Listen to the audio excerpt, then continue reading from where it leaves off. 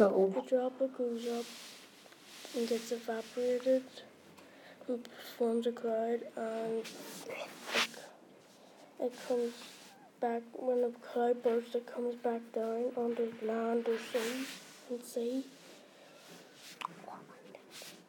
On mountains it goes if it's a mountain it goes straight down into the water sea.